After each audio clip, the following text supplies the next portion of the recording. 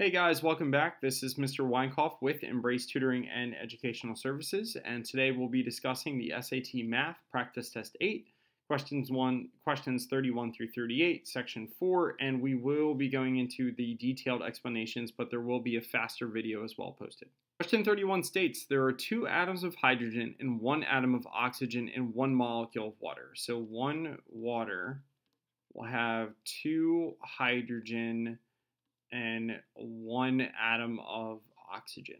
How many atoms of hydrogen are there in 51 molecules of water, right? And so how many atoms of hydrogen are there? Well, if I have 51 molecules of water, then my ratio here is going to be per one water, I have two atoms of hydrogen. So this is going to be 51 times 2 which altogether should give me 102, and that should give me 102 atoms of hydrogen within water, so 102 should be my answer. Question 32, if x equals 1 in the equation above, what is the value of a? So I'm going to immediately plug in. Here I have my x minus uh, 1 half a equals 0. I'm going to plug in 1 minus 1 half a equals 0. In order to remove my fraction, I'm going to multiply the entire equation by 2 and I'm going to now have 2 minus and 2 times the 1 half is going to give me 1. I have 1a equals, well, this is still 0. I'm now going to subtract this negative 2 to get it to the other side.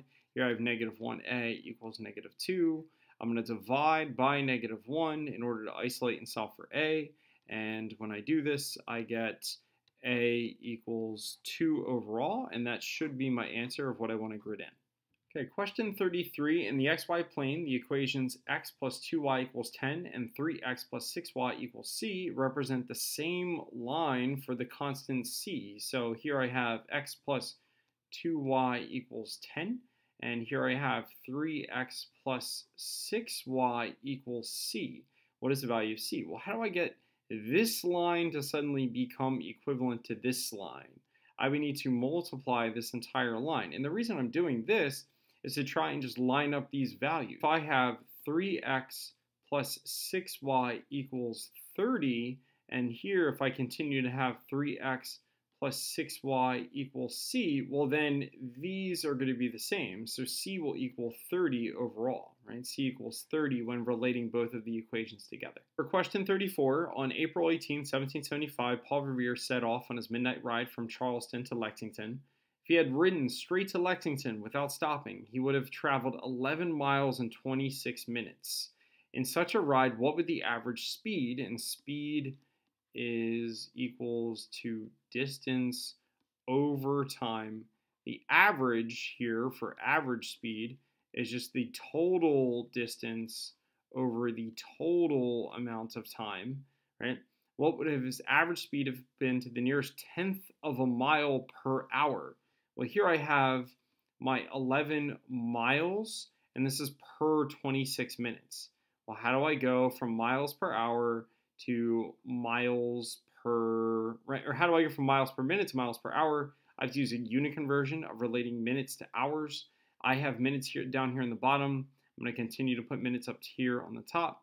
I know that for every 60 minutes, I have one hour, and I'm going to do 11 times Uh, times 60 over 26. My minutes should cancel. My, me, my units, my desired units, should be in miles per hour, which tells me that I'm solving for the right expression.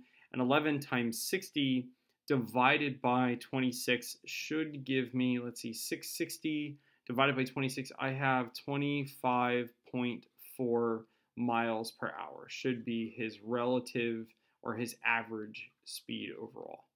Question 35 gives me a large function, the graph of a function f defined by f of x equals negative 1 half uh, times parentheses x minus 4 squared plus 10 is shown in the xy plane above. And the function g, which is not shown, is defined by g of x equals negative x plus 10. So I have this expression, I have this expression. What is one possible value of a such that f of a equals g of a? Ah, I see. Okay. Well, if I were to plug in my f of a equals into g of a, then I'm using a to plug into both of these expressions for x. So a is then going to get plugged into where x normally would be.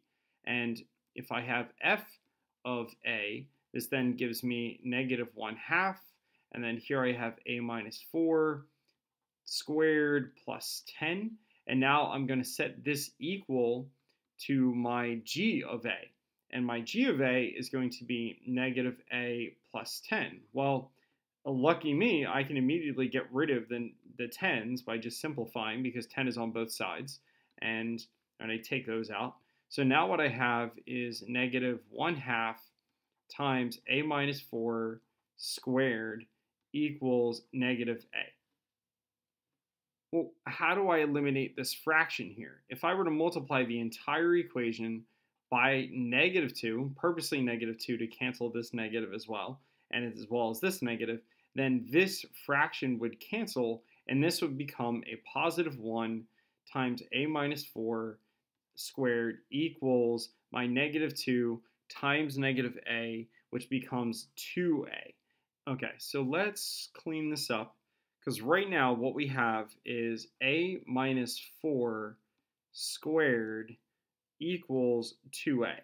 If I were to subtract this 2a from both sides, then I would end up getting my a minus 4 squared minus 2a equals 0.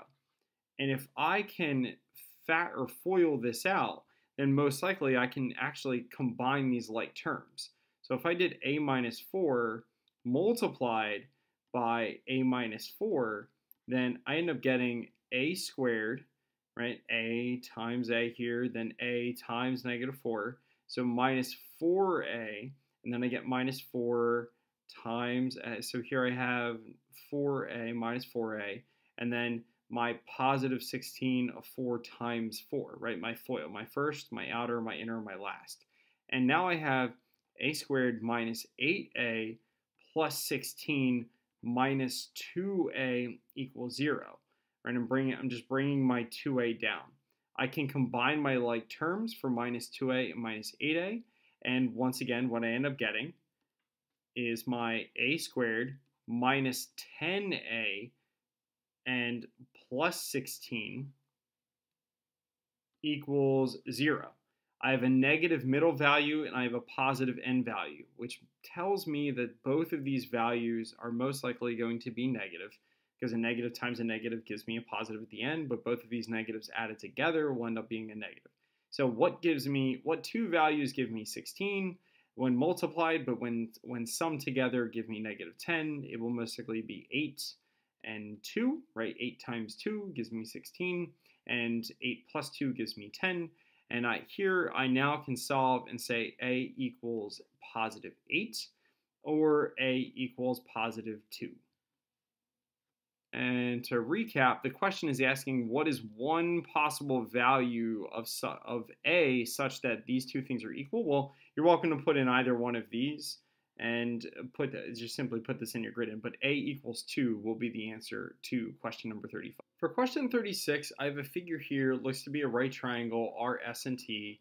In triangle RS and T above, point W not shown lies on RT. So point W is going to be somewhere on this line. I'm just arbitrarily going to write this in. I'm going to say that W goes here, right?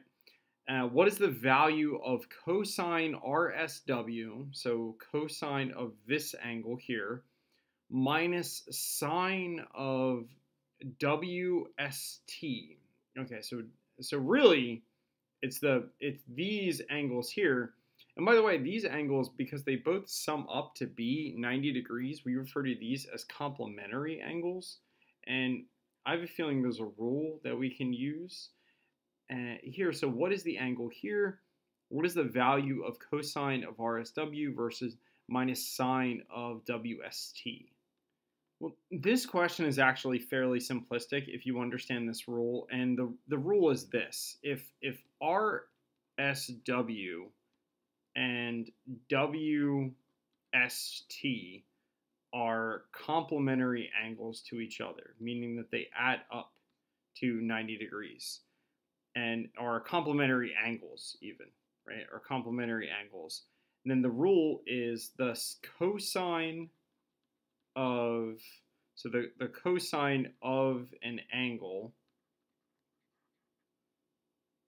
is equal to the sine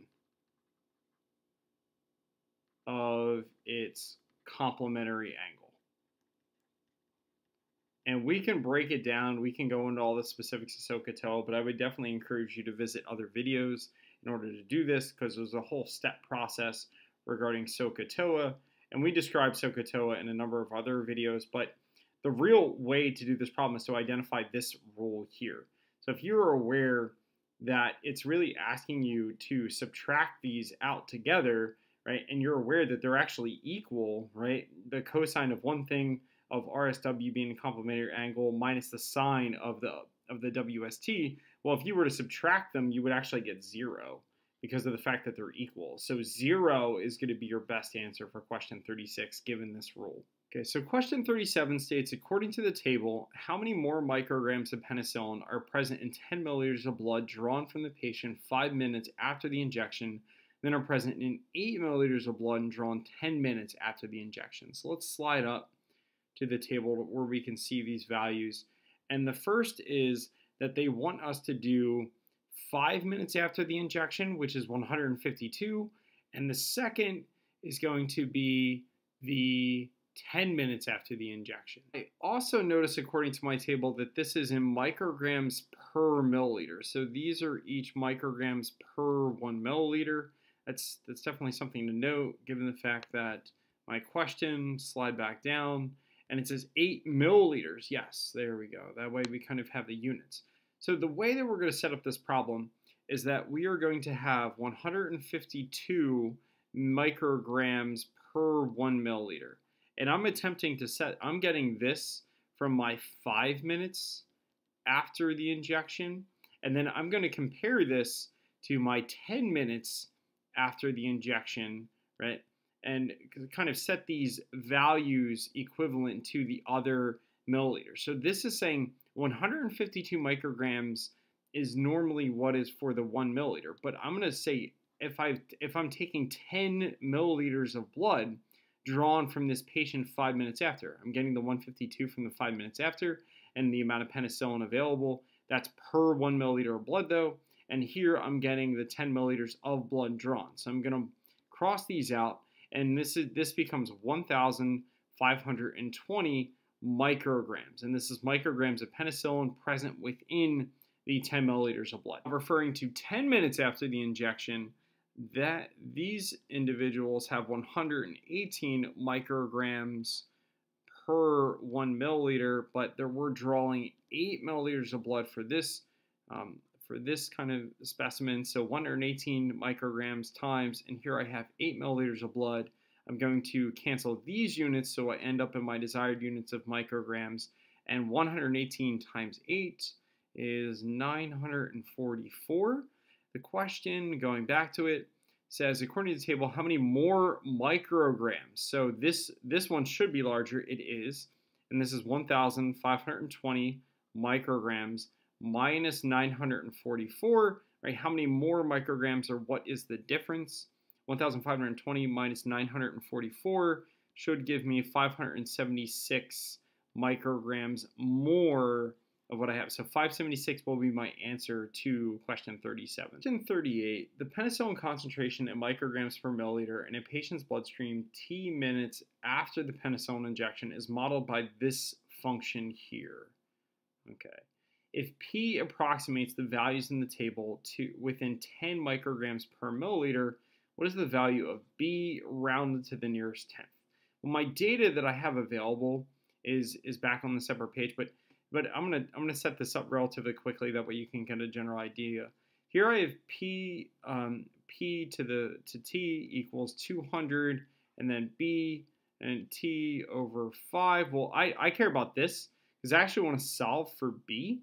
And if I can eliminate this exponent by using something easy with 5, like for instance, if I if I can find something where it's like 10 over 5 or or b 5 over 5, then this this would just become b squared or this become b to the first power, which is I want to get b by itself, so I'm considering that with what values that I choose in my other table.